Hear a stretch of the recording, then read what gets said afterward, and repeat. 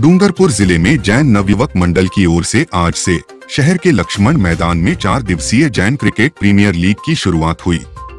नगर परिषद के सभापति अमृतलाल कलासुआ ने प्रतियोगिता का आगाज़ किया। प्रतियोगिता में जैन समाज की आठ टीमें हिस्सा ले रही है। रोज दो टीमों के बीच मैच खेला जाएगा। 26 दिसंबर को क्रिकेट प्रतियोगिता का फाइनल मैच होगा। डूंगरपुर शहर के लक्ष्मण मैदान में आयोजित जैन प्रीमियर लीग के उद्घाटन समारोह के मुख्य अतिथि नगर सभापति अमृत कलासुआ थे। इस मौके पर कलासुआ ने कहा कि जीवन में खेल सबसे ज़रूरी है। इससे व्यक्ति का जीवन स्वस्थ रहता है, समाज की ओर से इस तरह के आयोजन होने चाहिए जिससे समाज में मेल मिलाप बढ़ता है और एकजुटता आती है।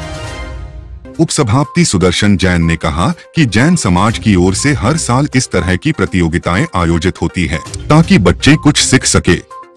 मंच पर जैन नवयुवक मंडल के अध्यक्ष सिद्धार्थ मेहता, सचिव नरेश जैन, कोषाध्यक्ष शैलेश मेहता, रमेश जैन मौजूद थे। कार्यक्रम के उद्घाटन में कराटे क्लास की बालिकाओं ने कोच विपिन के नेतृत्व में कराटो का प्रदर्शन किया। क्रिकेट प्रीमियर लीग का उद्घाटन मैच पार्श्वनाथ क्लब व नेमिनाथ क्लब के बीच खेला जा रहा है। प्रत्येक मैच 20 से 20 ओवर का खेला जाएगा, जिसमें खिलाड़ी बैटिंग, बॉलिंग व फील्डिंग में अपनी प्रतिभा दिखाएँगे। 26 दिसंबर को फाइनल मैच के साथ प्रतियोगिता का समापन होगा, जिसमें विजेता टीम के साथ man of the series man of the match के इनाम भी दिए जाएँगे। ब्यूरो रिपोर्ट, सपना शर्मा, वागड़ संदेश, डूंगरपुर।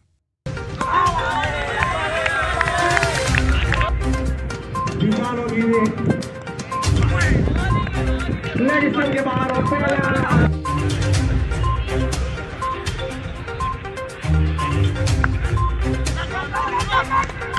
अच्छी पटकी हुई गेंद दिया बीच में से कृपया।